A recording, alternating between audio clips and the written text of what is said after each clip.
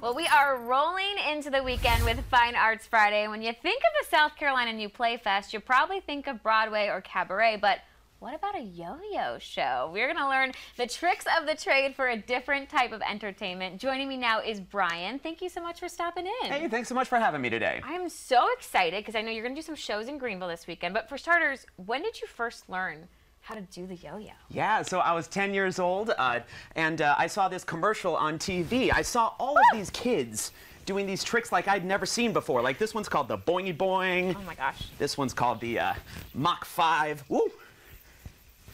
I'm already so impressed. Oh my goodness. And from there is pretty much history. I uh, learned a ton of tricks. I joined a yo-yo team, traveled the country competing at yo-yo contests, and then uh, I got into the theater. And so, in the past five years, I've combined those two art forms into my yo-yo show. Sounds like the recipe for success in my opinion. I'm already very blown away by what you're doing. And I know you are going to do some shows in Greenville this weekend. Tell me all about it. Absolutely. As part of the uh, South Carolina New Play Fest, um, we're doing a variety arts stage out in uh, Falls Park. So we have this uh, whole variety arts stage set up. Uh, we have three different artists coming to do the shows. I'm the uh, New York Yo-Yo Show. We also have uh, the Real McCoy Show. He's a uh, real fun juggler who uh, does a comedy show. Also Street Circus. They do a lot of hand balancing, juggling as well, Cyr wheel, really cool stuff. And so we're going to be alternating from 3 to 8 p.m. on okay. Saturday and Sunday. What I love about this too is I know a lot of the plays and musicals are kind of sold out, but what's great about your shows is you don't need tickets. So yeah, you can completely also go free.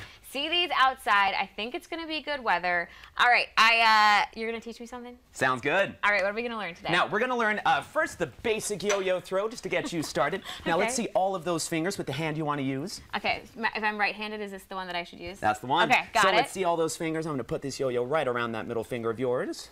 Guys, I'm very nervous that I'm going to mess this up. Hey, you're going to be great. okay. Awesome, awesome. So, going to start with the big yo-yo muscle. Looks just like that. Okay. Awesome. Got it. Great. Now, we're going to throw that yo-yo with the palm facing up. Let's watch first. Just like that. Okay. Then we're going to turn that hand over, give it a tug. Should come right back to the hand. Okay. Can Let's, you do it one more time? Sounds good. Here we go. hand up. Hand up. Hand down. And we're going to tug it. Okay, yeah. okay. Hand up. Hand down. Give it a tug.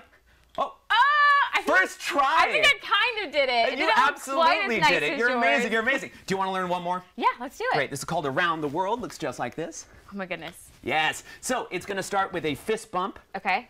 Yeah. Well, first up, we got to make sure that's all wound yeah, up yeah, for yeah. you. Okay, so I got my fist Safety bump. first. Fist bump out behind your leg, and okay. now, all right, we don't want to get these monitors. Yeah, yeah, so let's uh, let's turn profile for us. Okay. And we're going to throw that yo-yo downwards and outwards. We're going to swing it in one circle, bring it back with the palm facing up, just like this. Just like I that. don't know if I'm going to get this one. I think you got Walk this. Me through one more time. Here. Fist bump behind the leg. Now throw down and out, around in a circle, catch with the palm up. Okay, I'm going to try it. Catching right. it this way. We I'm going to go like this.